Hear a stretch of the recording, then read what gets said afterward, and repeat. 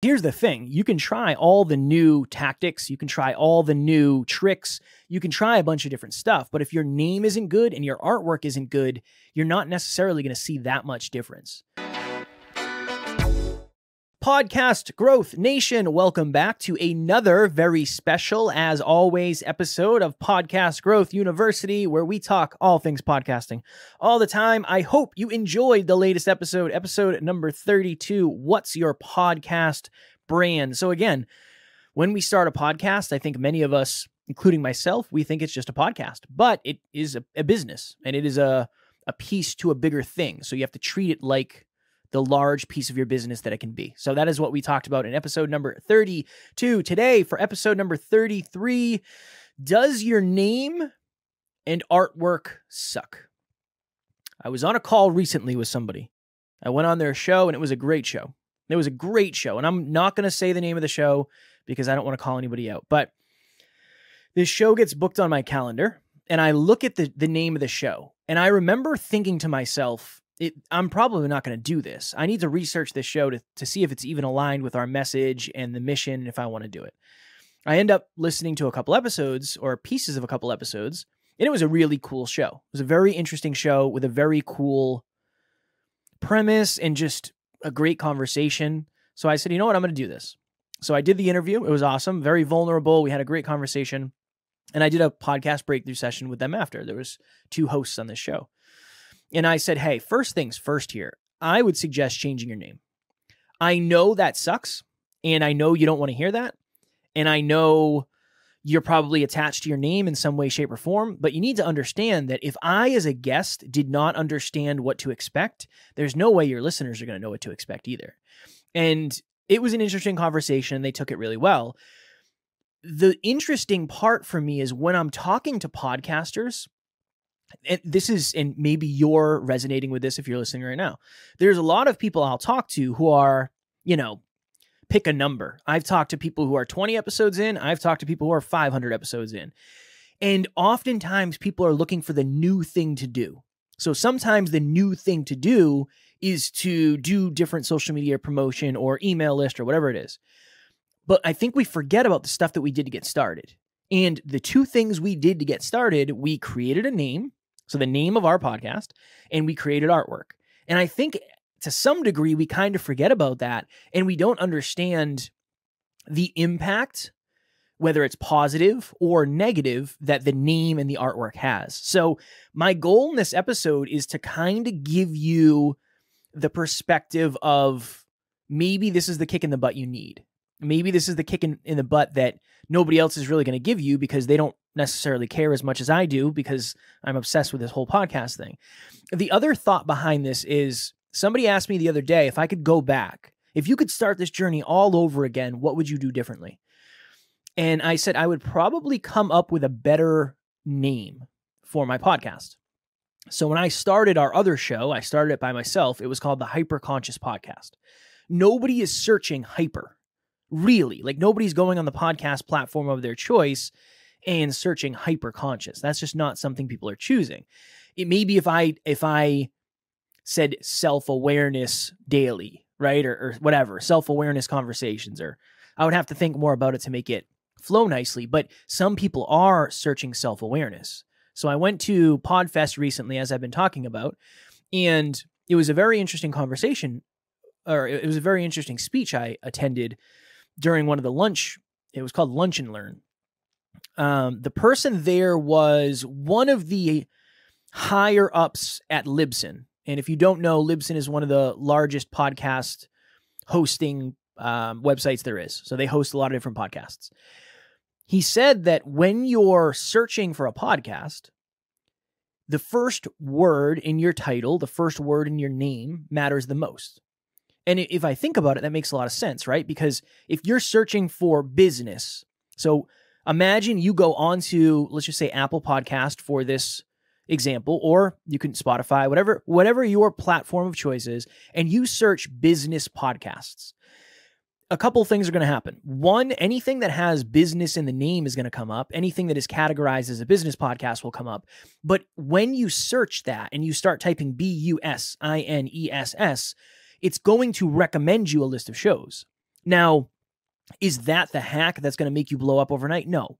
But is somebody going to see uh, just a random name? No, nobody's going to see that. It's not going to pop up, especially if it doesn't describe what you're talking about in the podcast. So I would have changed hyperconscious to maybe, you know, self awareness society. That maybe that would have been a good one, like self awareness society. Okay, that's the name of the podcast. It gives you a really good understanding of what we're going to talk about. And if you search self, self awareness might come up. If you search self awareness, self awareness society might come up. So that's a that's just a little takeaway from there. The other thing that I'm thinking of is a lot of people, the artwork is one of those things. Again, I think we did the same thing in the beginning. It's one of those things that you either do yourself, you maybe you know somebody in your network who can do a little graphic design. You throw somebody 10, 15, 20, 50 bucks to do your artwork, and then you kind of don't worry about it until however many years later. I always tell people number one, your artwork has to look professional. Because if you look at the other shows in your category, they all look very professional. And yes, there's that old saying, do not judge a book by its cover, but we do. We do, especially books. We actually do judge books by their covers. I know in a perfect ideal world, it wouldn't be that way with people, but we're not talking about people. We're talking about a product. We're talking about a podcast here. So even my artwork for this show, I don't want it to be a picture of me necessarily.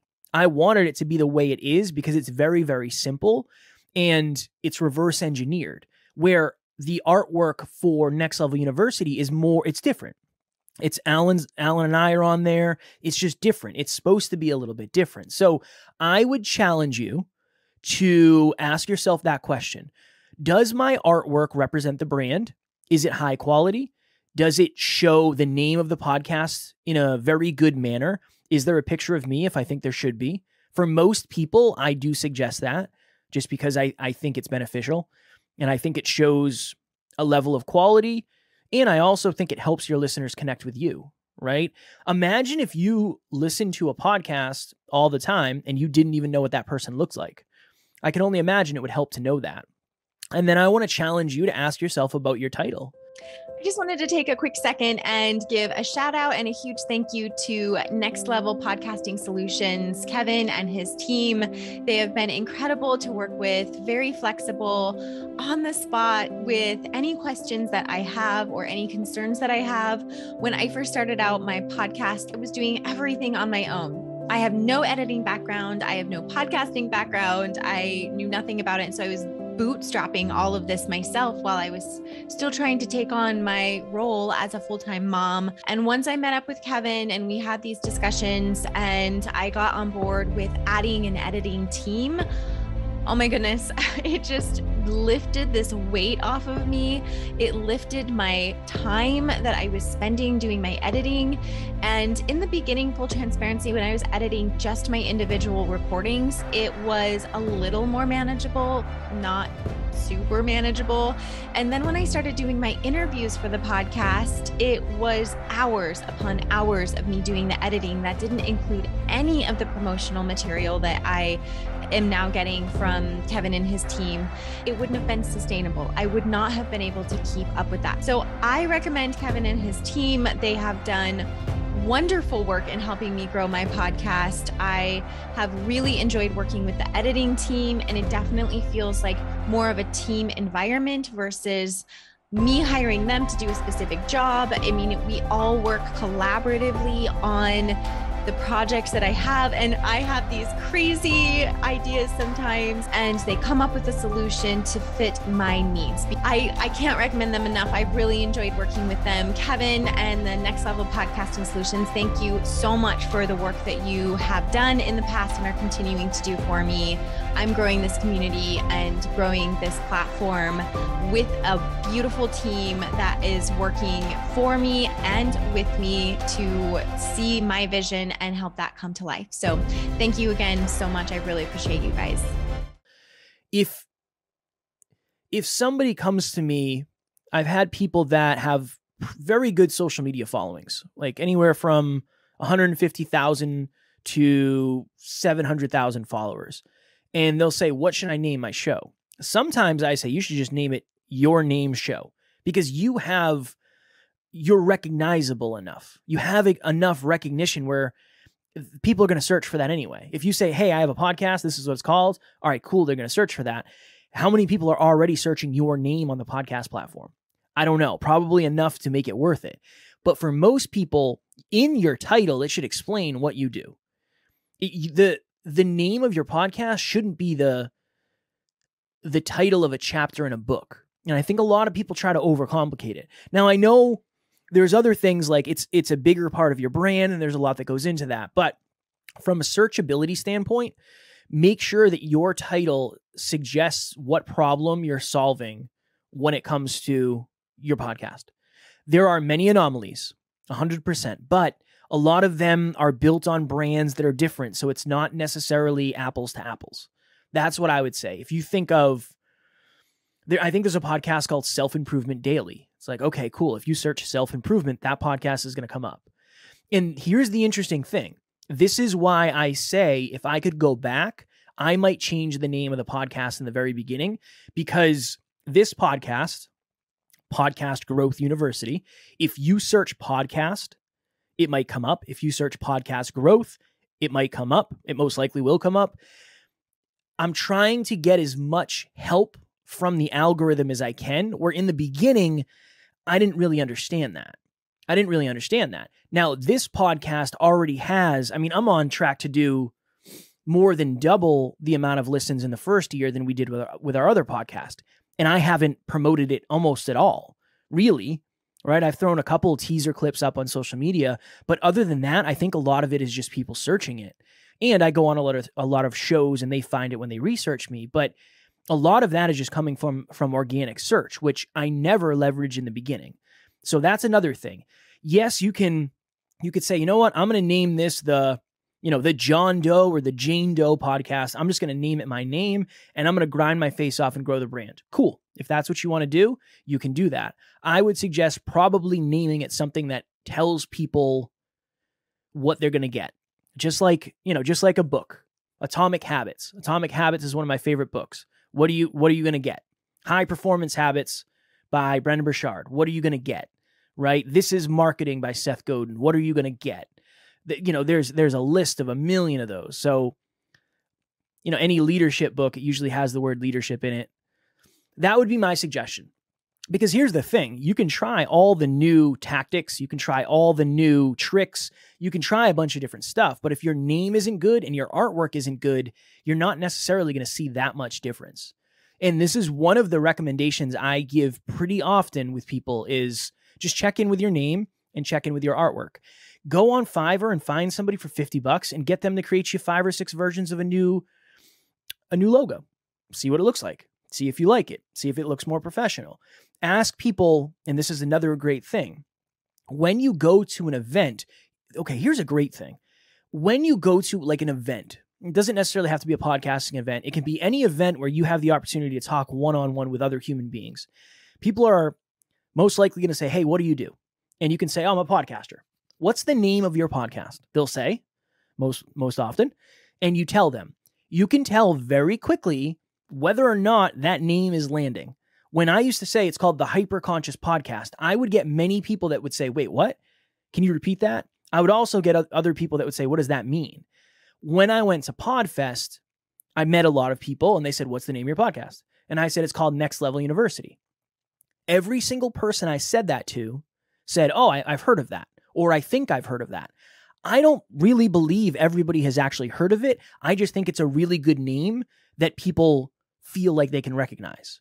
So that's another interesting thing. I don't believe that everybody in there has heard of our podcast. I mean, yeah, we have a big show, but not big to the point where everybody in the audience would have heard it.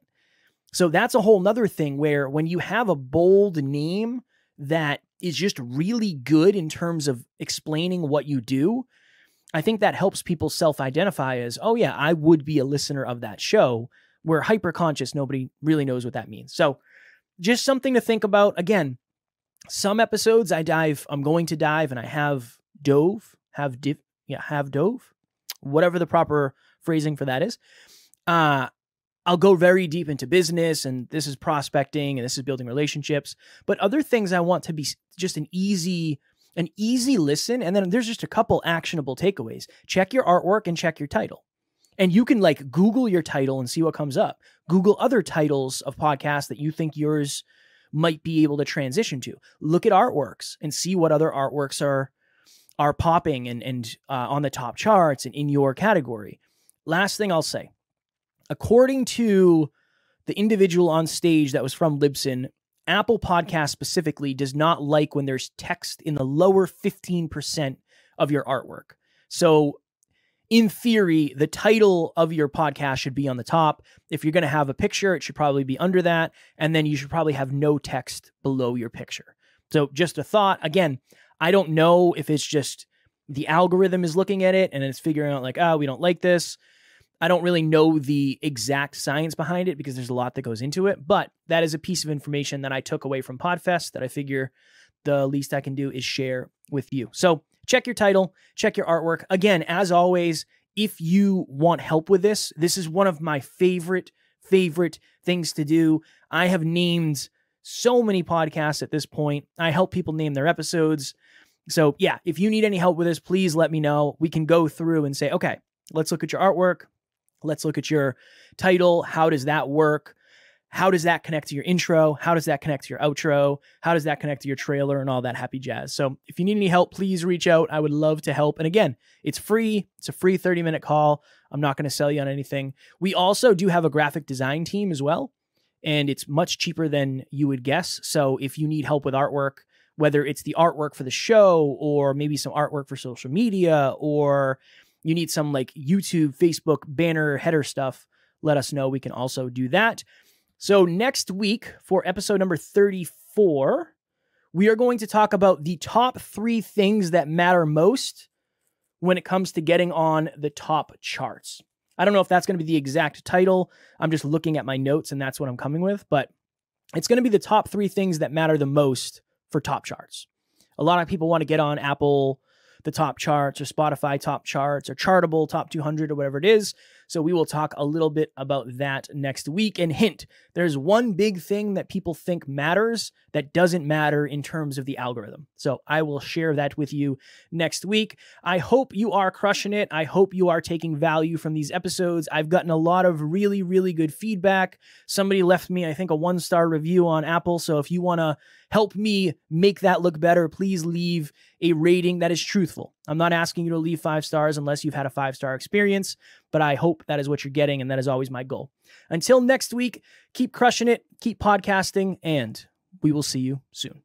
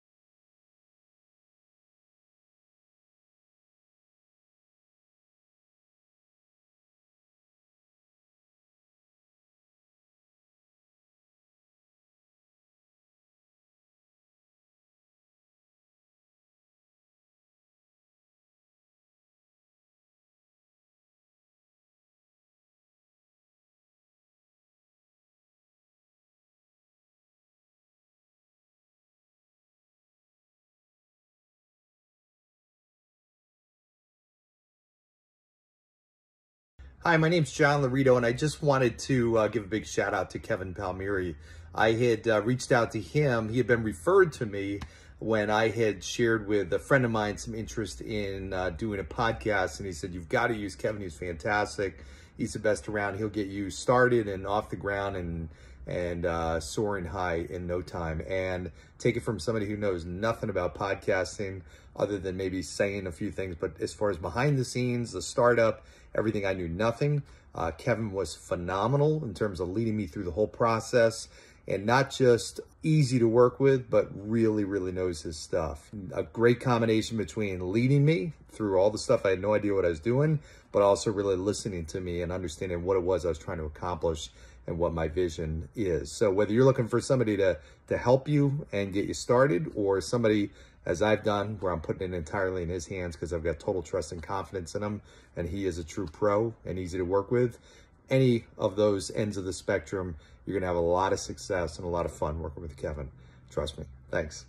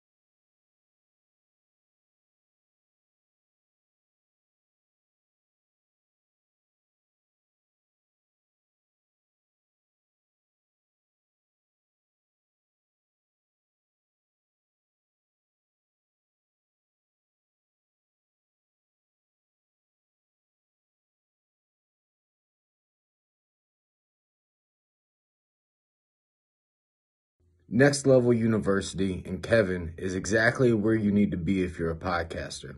When I first started out just a few months ago, I had no clue on the direction I was going. I was getting hustled by another company that was giving me not even close to the value that Kevin and Next Level U was giving me. They literally changed the trajectory of my podcast, have helped me out tremendously. They understand the clients. I promise you, you will not go wrong with dealing with Kevin and Next Level U. I'll see you there.